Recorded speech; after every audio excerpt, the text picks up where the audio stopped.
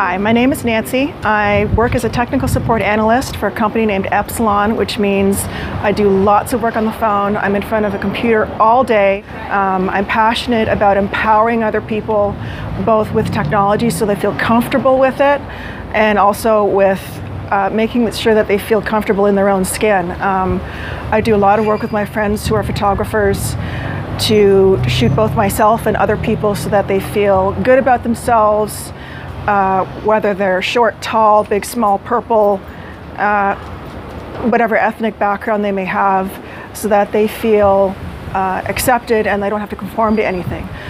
I mean, look at myself. I've got purple hair. Next year it'll probably be blue, maybe something else. Uh, my stylist tends to surprise me, which is the way I like it. Um, I used to think tattoos were a terrible thing, but now I see them as little mini works of art on a bigger work of art, which is myself.